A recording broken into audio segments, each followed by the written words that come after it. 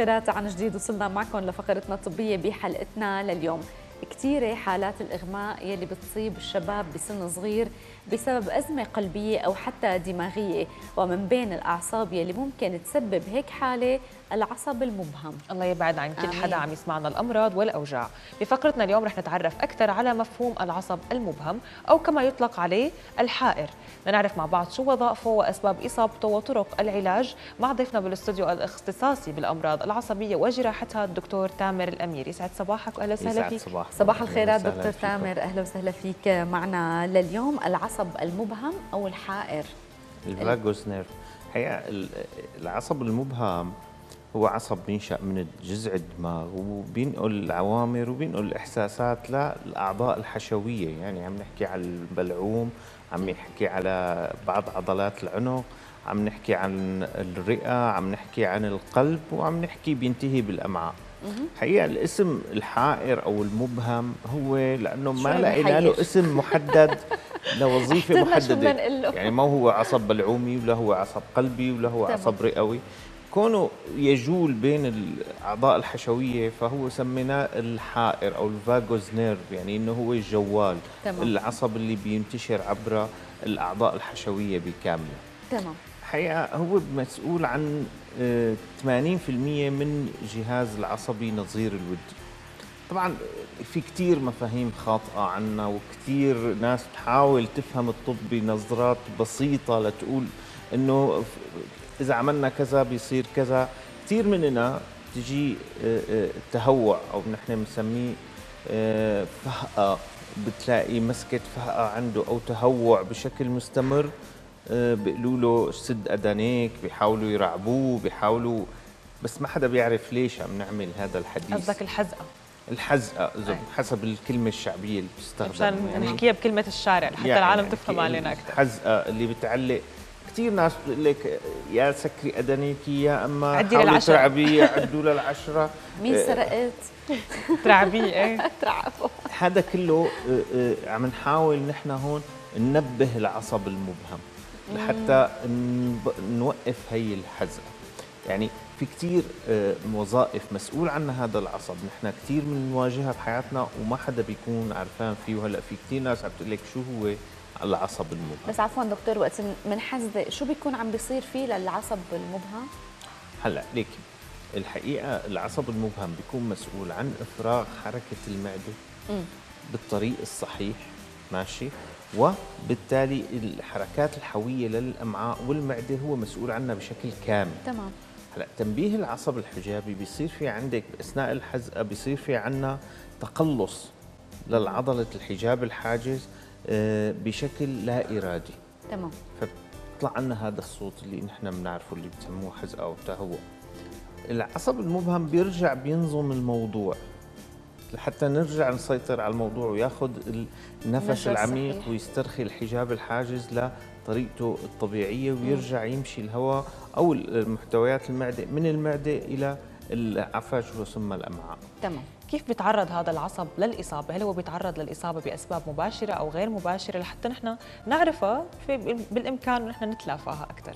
هلا لك الحقيقة العصب المبهم قلنا بينشأ من جذع الدماغ وبينتشر عبر الجذع وبيمشي بمناطق كثيرة يعني نحن بنحكي من جذع الدماغ للعمود الرقبي للصدر للبطن هلا أي إصابة أو أي كتلة على طريقه ممكن تؤدي لاصابته وهو مثله مثل اي عصب يعني ممكن ينصاب بالتهاب فيروسي التهاب مناعي ممكن يكون كمان إصابته بسبب الجلطات أو الاحتشاء اللي ممكن يصيب جذع الدماغ.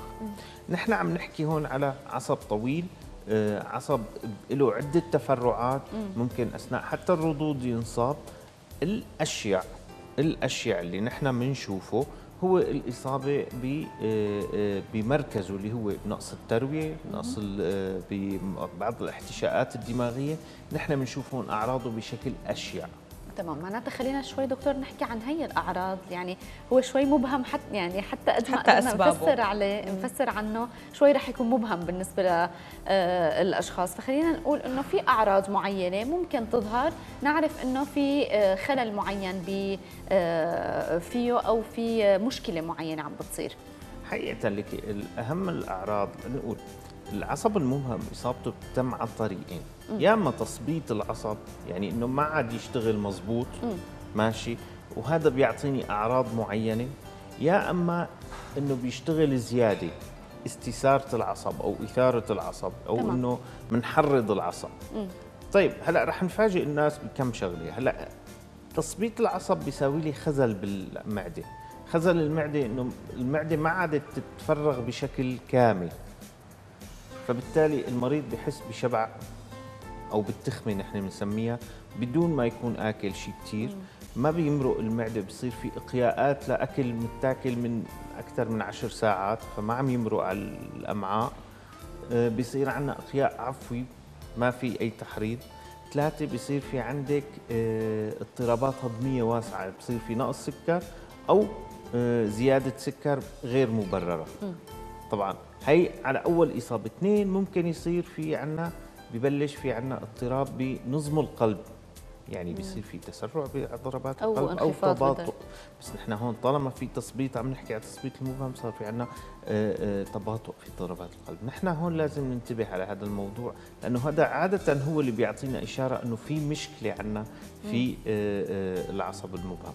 نجي على حركة الأمعاء. بس حسي المريض اللي عنده إصابة بالعصب المبهم نحن عنا آه، بيصير في نفخة واضطرابات في عادات تغوط سواء امساك أو أحيانا في ببعض الحالات بصير في إسهال. تمام. اذا هو مسؤول عن حالات كثير في الجسم. سبحان طبعا الله. في شغلة كثير مهمة إنه المريض بتحسي عنده صار صوته مو طبيعي صار في اضطراب بحركة التص- التصويت.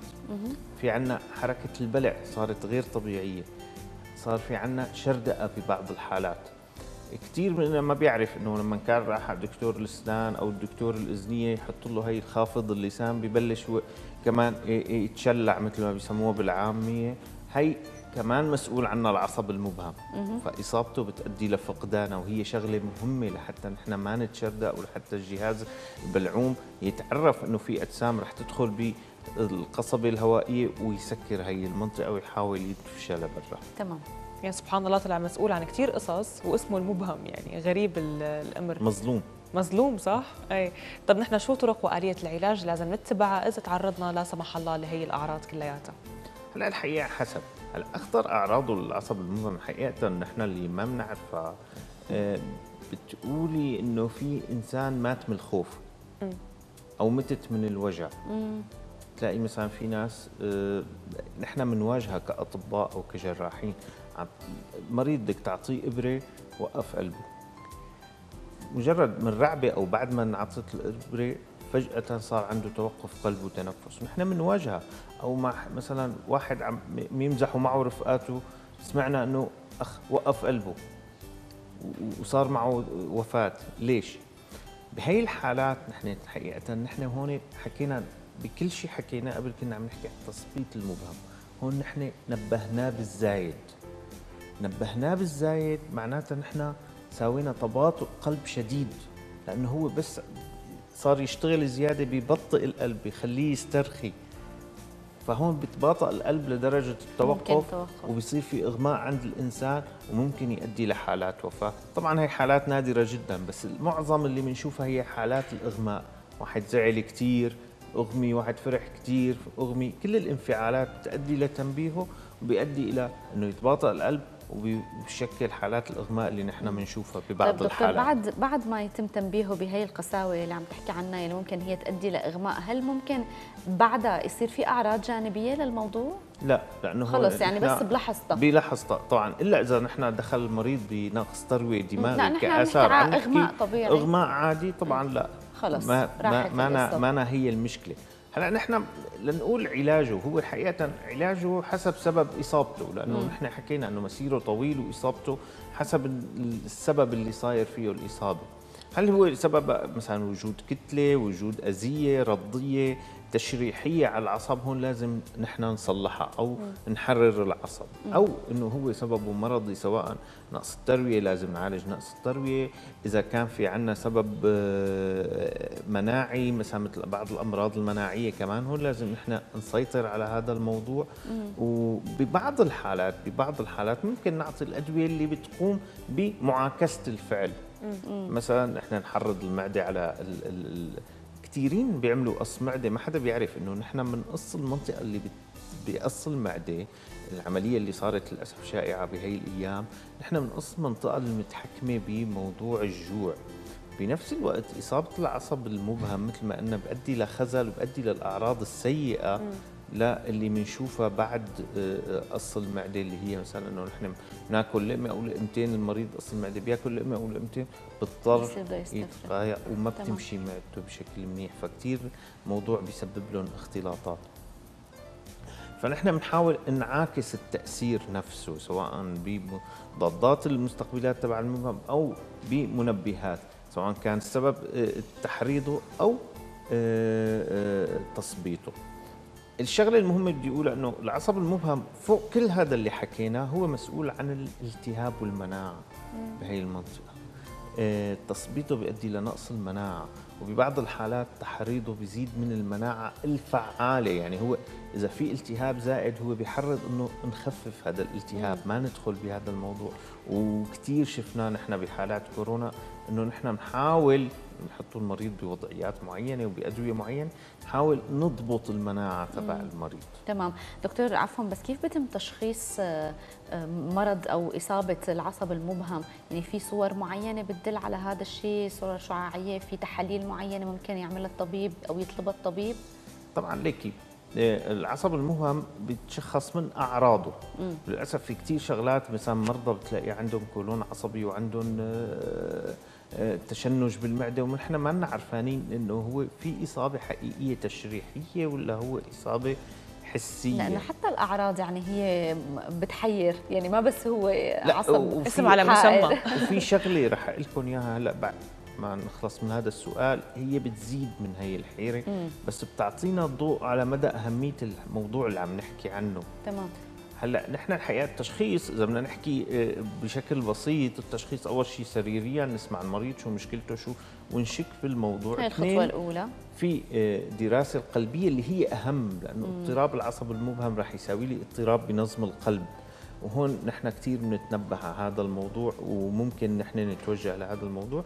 طبعا تصوير رنين مغناطيسي تصوير طبقي المحوري لحتى نشوف مسار العصب تمام.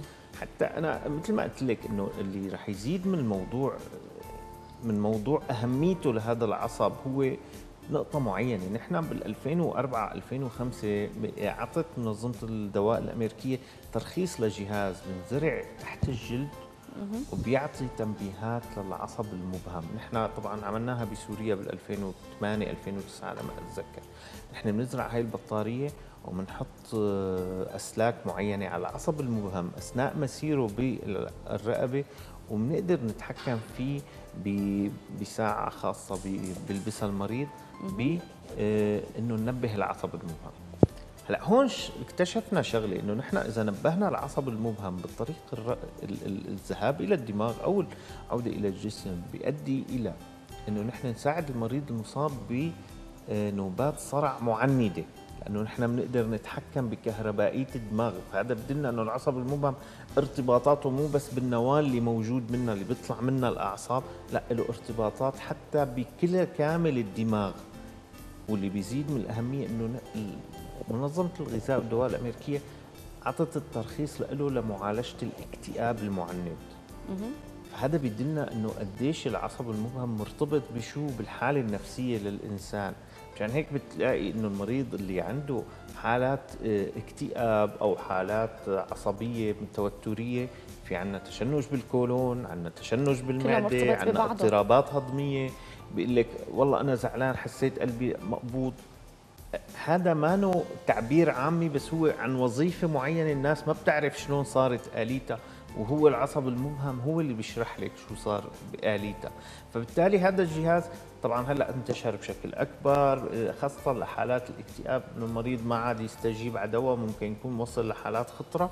هذا الجهاز كثير بيفرق معه بحياته. تماما ذكرتني دكتور بفيديو مره حضرته إنه دائما بنقول قلبي عم يوجعني من كثر ماني زعلانة. طلع فعلا الواحد قلبه بيوجعه وقت يكون طبعاً. في حالة زعل شديد. ومسؤول عنا المبهم. أنا أنا حابة أسألك عن هذا الموضوع. إنه هل هو بيحدد عتبة الألم عند الشخص؟ هل هو بيزيد من حدة الألم أو هو بورجيك قد إيه أنت عندك نسبة ألم؟ أكيد لا لأنه لك عتبه الألم لها مركز خاص بالمهاد آه، اسمه المستقبلات الحسية الألمية وبالتالي بينتقل للدماغ بي آه، آه، هو بيفسر لك الموضوع. هو بس بيفسر عم الموضوع ما أنا مسؤول عن الألم. لا لحتى أشرح لك إياها لأنه أنت سألتي سؤال مهم.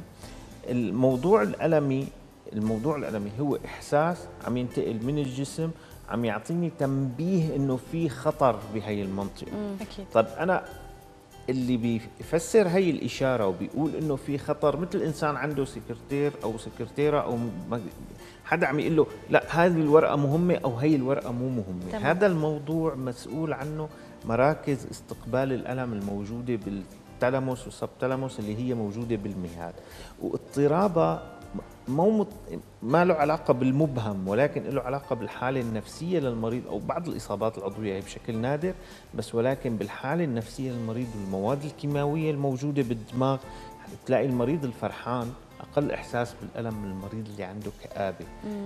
وهذا اللي بيؤدي لشيء اسمه الفايبروميوألجيا النظرية المتهم فيها الفايبروميوألجيا اللي هو الألم الليفي العضلي اللي بيجيكي إنسان مثلا أنا كل جسمي عم يوجعني أنا إذا لعبت رياضة بيوجعني جسمي إذا مم. مشيت شوي بيوجعني جسمي. هذا الإنسان عنده انخفاض في عتبة الألم فبالتالي بحس بالوجع كل ما حرك حركة العادية اللي نحن ما مستحيل اللي ما بتألم بالعكس بتحسيها بتنشطك بس هو لا. بتكون مؤلمة له صحيح. تماما. شكرا كثير لك دكتور على كل يعني المعلومات اللي أعطيتنا إياها وعلى اختيارك لهذا الموضوع لأنه عن جد هو جدا مهم وهيك تعرفنا على معلومات آه، جديدة. شكرا لك. شكرا كثير لك. والله يبعد عنك وعنك كل الأمراض يا رب. آمين يا رب. رح نطلع هلأ شو رأيك نطلع بفاصل صغير يلا غنية هيك يلا نفرفش شوي. يلا.